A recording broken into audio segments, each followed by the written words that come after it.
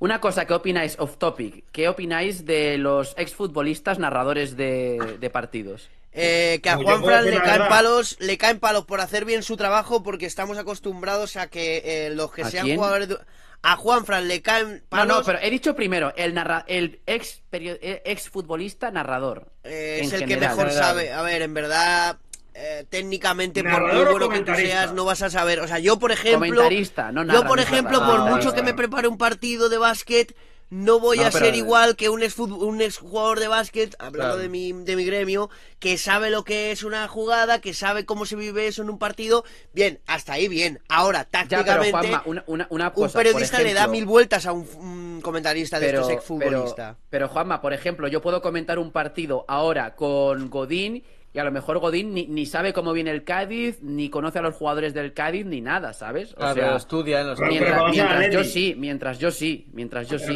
Por ejemplo. Atleti, cuidado. Yo No, solo sí, te sí, quiero pero romper. eh, eh, ah, yo hablo del yo- yo yo- hablo del comentarista exfutbolista, no hablo de Juan Fran todavía. Hablo Ya, pues yo quiero romper una lanza a favor de Juan Frank. Y si queréis, ahora si queréis, no, ahora si queréis hablamos de el, el exfutbolista narra- de comentarista que tiene, está obligado al parecer por la audiencia del propio equipo a que sea un, un tertuliano del chiringuito, por ejemplo, que esté como Guti. Joder, eso es gol. Coño, eso es roja. Así Hostia, es que eso es lamentable. Yo- yo es que eso es penalti, tío. Es que eso es penalti. Es que eso, ¿cómo va a ser eso- fuera de juego? Eso lo hace solo los del Madrid, porque si lo hace uno del Atleti se va a la calle. Sí, sí. Literal, Ah, claro, también. Pero, pero, pero, pero tú, pero tú, Z, yo te pregunto, ¿tú qué querrías? ¿Uno que haga eso? O que, oye, si veo un, un penalti que no es penalti, que lo diga, o sea, que sea honesto. O sea, ¿qué, qué opináis al respecto en general, Yo, ¿no? De la mira, figura, de la figura en yo- sí del exfutbolista comentarista. Yo creo que el que es bueno en algo me, me da exactamente igual que sea comentar, o sea, fútbol, es fútbol, o sea, como si me pones a Ibai a comentar partidos, si lo hace bien y pilota y habla bien, yo encantado de la vida. Hay exfutbolistas que comentan de maravilla, otros que son totalmente insulsos, que me duermo con ellos, me pasa con Cañizares, me pasa con Luque, que me duermo con ellos, literalmente. Hostia, digo, Luque, tú. Alcorta, Sanchís, que gente que digo, digo, los escucho y digo, joder, me parece que estoy escuchando el tour, ¿sabes? O sea, Ya, me ya, duermo, ya. literalmente. Y eh, luego hay casos concretos, y a mí hay jugadores que me gustan más que otros, como comentan. A mí, por ejemplo, lo que estabas diciendo antes, a mí Álvaro Benito es un tío Es lo que, Real es lo que Madrid, iba a decir. y a mí me parece cojonudo comentando. Sí. Mario Suárez, que el otro día debutó, me gustó comentando. Yo soy partidario de que puedo entender, y de hecho me gusta que se note que te tira tu equipo. Pero cuidado, si una cosa es penalti, es penalti. Si una cosa no lo es, no lo es. Claro. Si tienes dudas, Que- tienes dudas. Ahora, Que ahora no solo está pasando con digo, Juan Fran, ¿eh? Está pasando con Toquero, por ejemplo. El otro día lo vi también, hubo polémica. O sea, con todos está habiendo No polémica. lo sé, yo tío. te digo, a mí me da la sensación de que a los del Madrid, yo no sé si esto es porque ellos lo saben de manera implícita o porque se lo han dicho explícita- eh, explícitamente hablando. Sé que los del Madrid se pueden despotricar porque Guti es horrible. O sea, Guti ve que le dan la mano y dice, no, así hombro. O sea, es horrible, ¿vale? No, es verdad, o sea, es horrible. Eso sí, si le pones delante un roncola, eh, lo va a diferenciar de un wijicola solo con ver la copa, está claro. Pero, que, a ver, a mí me parece un grandísimo. O sea, en su momento fue un gran jugador y creo que tiene una calidad brutal, pero no me gusta como comenta. Es un tío gracioso, es un tío coherente. Yo creo que si le conociera me llevaría bien con él. Y mira que nos picaríamos, y nos pero creo que nos reiríamos juntos, sinceramente. Eh, pero fuera de esto, a mí sí es verdad que, que Juan Fran, por ejemplo, eh, creo que peca de, de una cosa. Ahí está, eso te dice que no, que es eh, con la cabeza. Eh, creo sinceramente que Juan Fran intenta ser tan imparcial que en momentos que me da la sensación de que es parcial, pero en contra Muchas gracias, Mario, crack.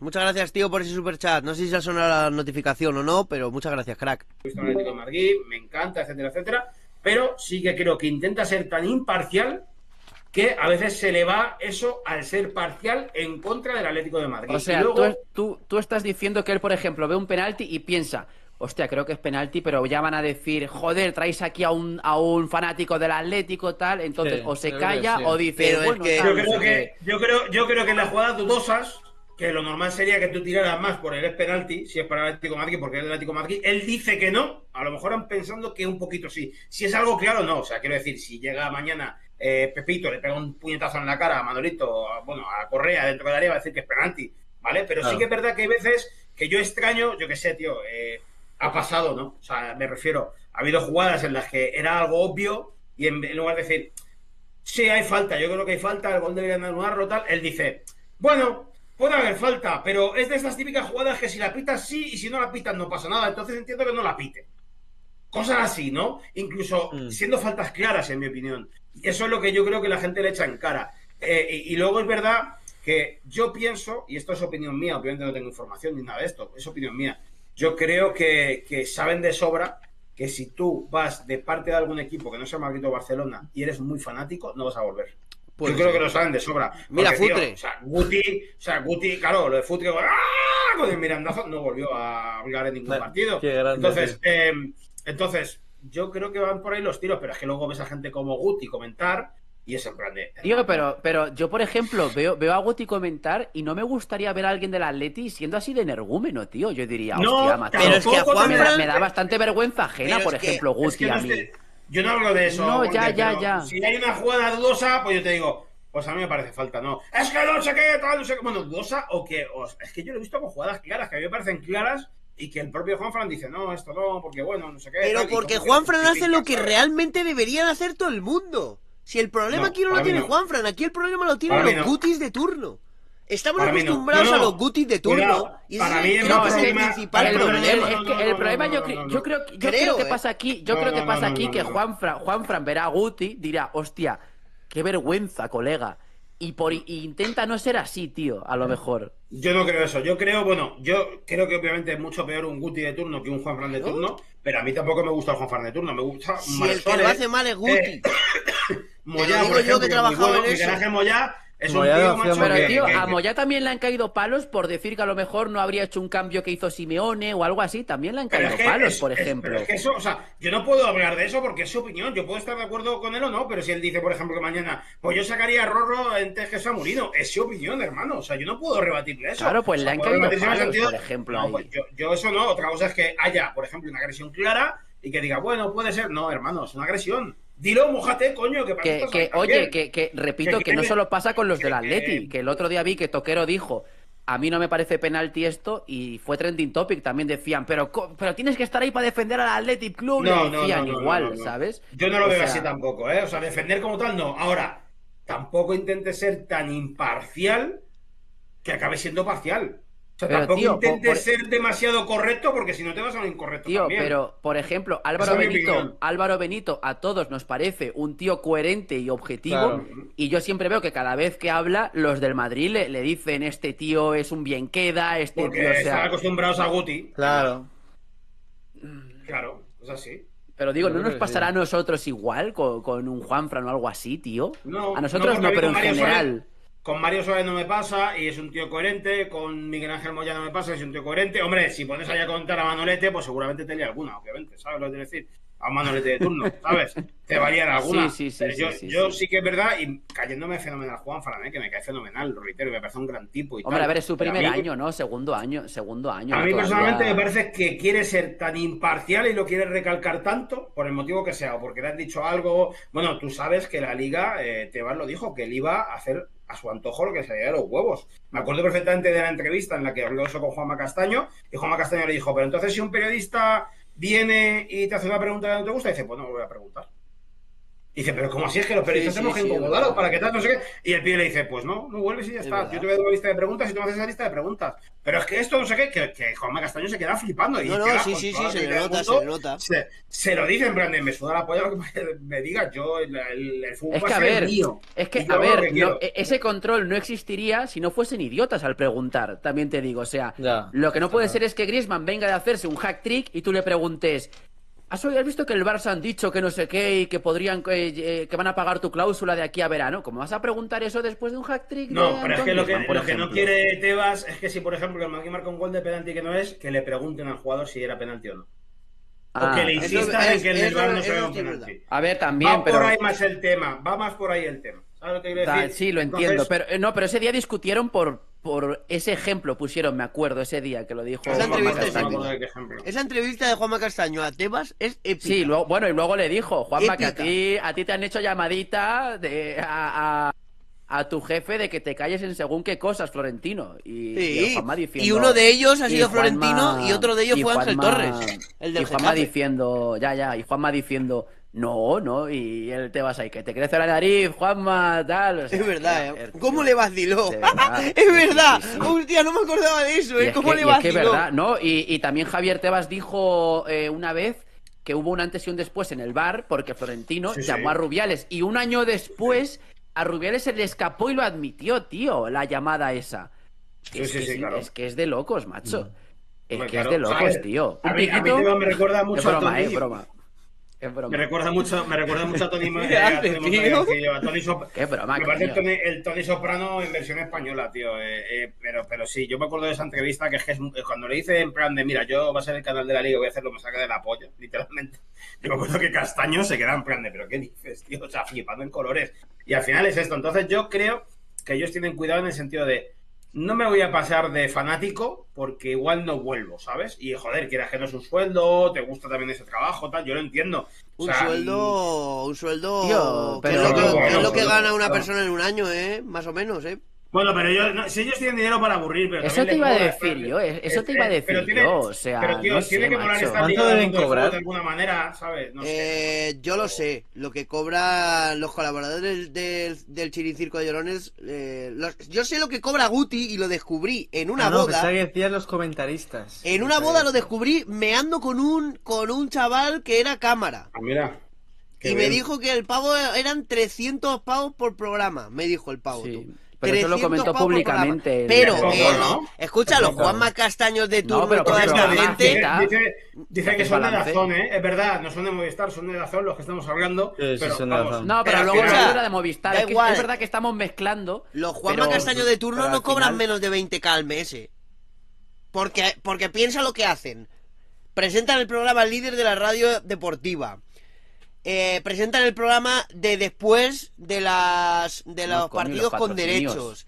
Eh, es un tío que le llaman, eh, que le tienen bajo cuerda. Entonces, si quieres a alguien bajo cuerda, le tienes que, que poner pasta. Ahora, los demás periodistas, yo te digo que Wagger, que tú, si te pones las pilas un poco con YouTube, cobrarías más que un periodista de raso. Que un Antonio, bueno, Antonio Ruiz no, pero que un, No, eh, que Que un no, periodista raso de la vida, cobrarías tú más. Ya, hazme caso. Que un periodista que no conozca a nadie. Me No, pero ya me columpiado, pero de un periodista Pero que acabe, final, que, mira, que sea medianamente verdad- joven y que acabe de empezar, cuidado. Yo ¿eh? prefiero, co- yo prefiero cobrar mil euros siendo libre que cinco mil Pues estando a sueldo de, alguien, ¿sabes? Estando a sueldo de, no, di esto. ¿Quieres di esto ser tu propio Oye, de jefe? esto no hables, ¿sabes? ¿Quieres ser tu O sea, yo propio jefe, prefiero mil veces eso, la verdad. Prefiero, hablando de mil eso. veces eso, tío. Hablando de esto, hablamos de este miércoles la Champions League. Eh, parece Para ser que hay alguien que se quiere ir, ¿eh? No, a ver, yo. A ver. Hombre, escucha, son las 11 casi ya. ¿eh? Bueno, Ah, ¿qué son- hemos dicho antes? Quien se quiera ir, puerta. Que Hombre, avise. claro. Y yo, eso puerta. Yo eso no lo he escuchado. yo Claro, escuchado. como no has dado señales hoy de vida, hijo mío, pues es lo que Claro, hay. tío, estaba, estaba liado, tío. Estaba liado. Ah. Hay, hay que reconocer que hoy ha venido Wagger, ha emitido, ha venido las dos horas. Es verdad, Wagger. pegas, eh, gente, por lleva dos favor. tertulias seguidas viniendo. Aplaudamos a Wagger. El nivel Y level, encontrándome bastante chumillo, que ya tengo cara de muerto. High level, eh. High Veamos, level, high level. eh, Hostia, tú conociste a Guti, ¿no? Wagger también. Es verdad. Eh, Es verdad, ¿y qué tal? Es igual de idiota, porque yo por ejemplo conocí a Roncero en persona y no es igual, no es igual de no es igual de idiota que lo que demuestra en la televisión, ¿sabes? El Roncero, por ejemplo. No, a ver, era majete. Incluso me van a llover palos, pero me. No me cayó mejor, pero prácticamente Guti que David Villa, ¿eh? Sí, se, se portó mejor. Sí, eso puede sí, pasar, a ver, eso puede mejor. pasar. Yo es lo que te digo, es igual cuando, cuando conocí este al, al Roncero dije, hostia, pues no es igual de imbécil en, que en persona que, que Claro, en porque son televisión. personajes. y al final- Sí, pero, pero eso al final, te he dicho yo mil al veces. final, Pero yo te lo he dicho mil veces al con Cristóbal final- Soria y con Duro, Wanker. Te lo he Al, dicho. fin- al final, al final pierdes credibilidad, tío, porque claro, es tipo, mira lo que ha dicho Roncero y es tipo, pues si, si no se lo cree ni él. lo Claro, que está por ejemplo, diciendo. los TikTokers mm, somos Claro. a veces unos personajes que por más visu- mm, visualizaciones, pues decimos Mira, por- es una realidad. por ejemplo, bueno, eh, hay veo- ejemplos que no. Por ejemplo, Cullera. Cullera es tonto delante y detrás de la cámara. Fin, se acabó. Y el que Yo diga veo, lo contrario, ejemplo, miente. O sea, yo veo, hay TikToks yo- que yo le digo, le comento también que digo, no sé por qué dices Yo- eso. porque Es no. tu coleguita, pero es más tonto que un bocado en ciertas partes nobles. Yo veo, por ejemplo, un reel. eh, predicciones de Roncero, campeón de Liga, Madrid, campeón de Copa, Ah, Madrid, ya, bueno, eso campeón de Champions. No, pero espera, espera, pero espera, espera. Yo creo, yo creo que Gonzalo tiene que ser mala gente luego. ¿eh? No, No, no, pero, no. espera- pero espérate, pero espérate. Madrid tal, es, es tipo, tío, o sea, me parece tierno, tío, que es tipo, o sea, ya te tenemos calado. Pero los comentarios todos, payaso, no sé qué, pero 30.000 comentarios rabiando porque ha dicho Madrid, Madrid, Madrid, decepción, Barça, eh, jugador de decepción, Lewandowski. Y 30.000 comentarios rabiando, chaval, con Roncero. Y digo, tío, pero ¿cómo genera esto un tío que le tiene calado todo el mundo, macho? Eh, e igual el Soria. Campeón, Barça, no sé qué, campeón, Barça, eh, decepción, Madrid, igual, 30.000 cul- eh, madridistas rabiando y digo, pero ¿cómo generan esto? Gente que la tiene escaladísima ya, tío, ¿sabes? O sea, no, no lo entiendo. Entonces Guti no es igual de idiota, ¿no? Que, que en televisión. No, a ver, en persona. Porque, por ejemplo, por ejemplo un Ojeda sí, la verdad, Ojeda sí, pero, pero yo entiendo que Por hay ejemplo, otros que, también. que no. ¿Cómo se llama el. El periodista ese. Que su hermano es entrenador del, de porcinos en la Kings League, tío. Sí, Juvenal. Juvenal me pareció. un- Se llama Alberto. Alberto es Yogo. Me hice Luego una, esa una gente y fotilla. hay gente Ah, que el hermano. con verla, Pero eso- dices, este pero eso Ese se pavo tiene pinta de buena, pantalla. buen chaval, sí, sí, sí, sí, sí. Pero esos son majísimos. Yo digo gente que, que destaque en televisión que, hostia, menudo, menudo enfermo. Y luego, ¿sabes? Digas, hostia. Y, y por cierto, también, no sé si sabéis quién es Héctor Antonio, que es un comentarista de, de Movistar, que es muy, muy bueno, la verdad. Me sigue en TikTok y me conoce y todo, y hemos hablado alguna vez. Y es muy buen, muy buen chaval. ¿eh? Ah, ese estuvo hace poco. Héctor Antonio.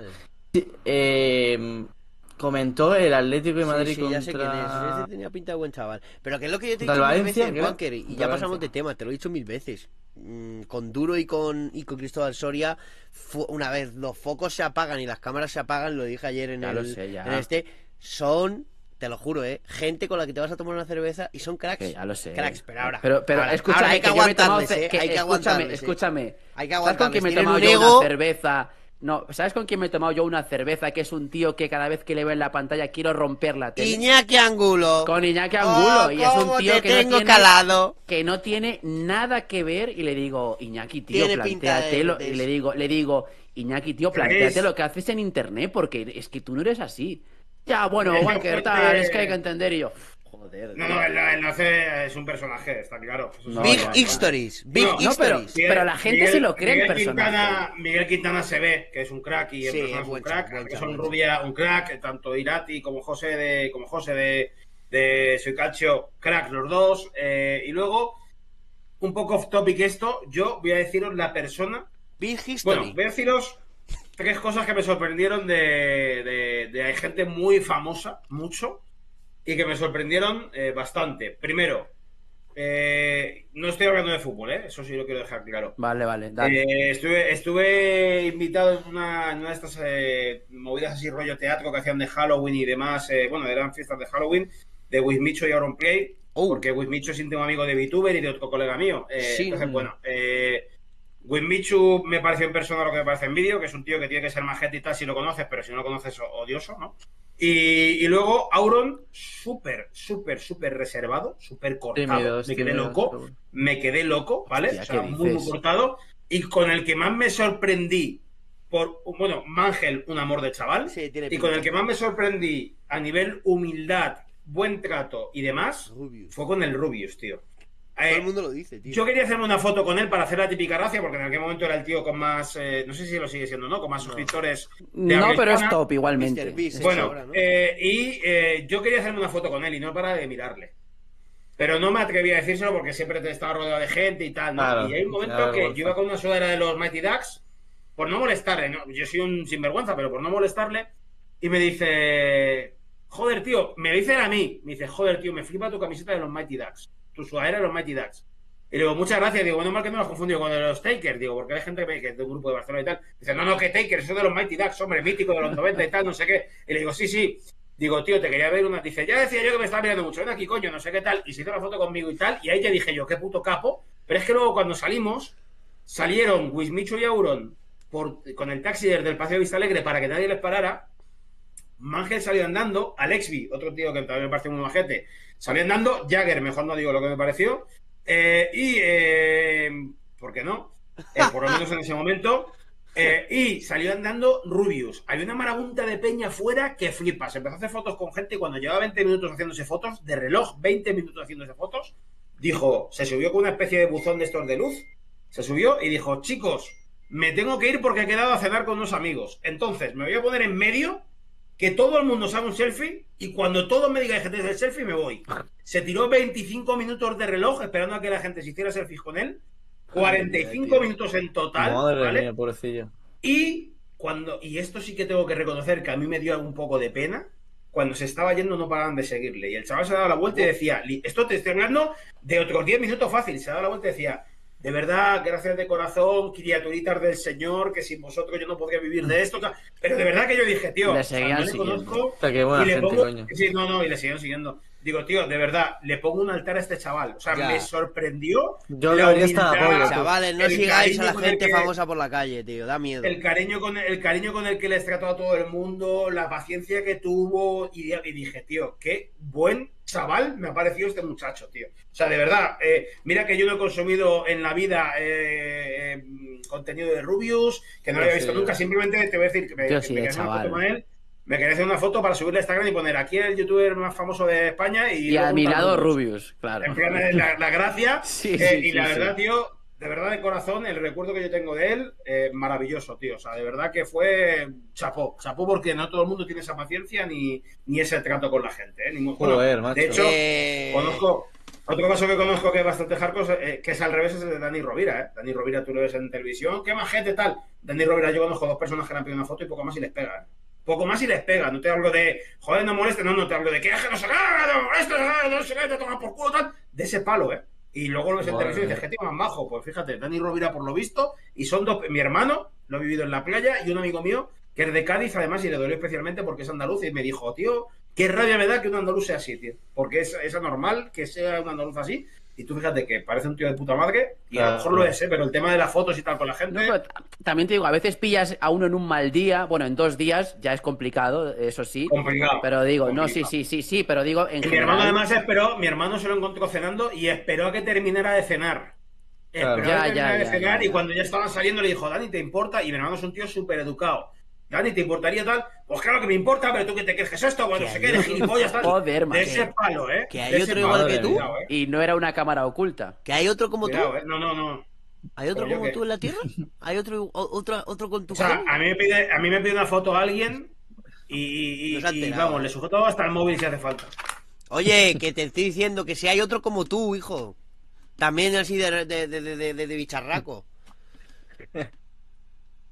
Sí, ¿no? No, mi hermano está bastante, mi hermano está bastante más fuerte que yo. ¿Qué edad yo tiene estoy, tu hermano? Yo estoy tochorizo y mi hermano, mi, yo- mi hermano está tocho y yo soy tochorizo. Él tiene, me saca seis años a mí. tiene pues dame unas 44, piernecitas como las tuyas, hijo. Anda, anda, chorizo. Vaya, vaya, vaya tela, macho. Que a mira lo ver. que dice por aquí en el chat. Yo me hice una foto con Z de Los Ángeles de San Rafael y súper amable. ¿Has visto, chaval? Yo soy súper amable. Eh, a mí nadie se hace fotos conmigo porque no me conoce nadie.